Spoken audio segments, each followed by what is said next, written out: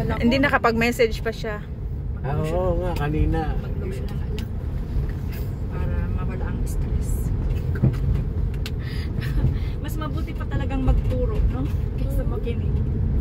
Parang, Kasi paulit-ulit yung- ano, ulit-ulit. Paulit-ulit. So alam mo na yung feeling ng estudyante. Paulit-ulit yung teacher. Paulit-ulit. Kaya.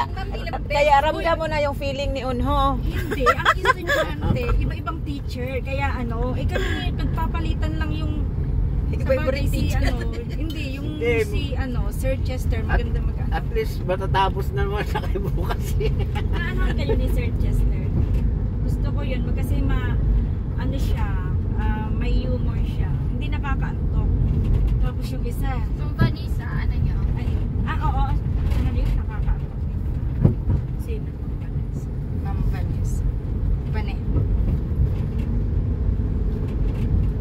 May assignment na naman. Oo nga. Tapos papasok ka na naman bukas walang assignment. Hindi gagawa. Ang assignment ko, alas stress ng madaling araw ko ginagawa. Ako dyan ako gumawa. Assignment pinupuntahan doon. Oh, yung walang assignment. Oo, talagang tinawag isa-isa. Sa amin kada lesson, activity. Oo, sa amin Next din. exam. Sabi ko, ba to? Panay na exam. Sakit sa, sakit sa utak mag-isip.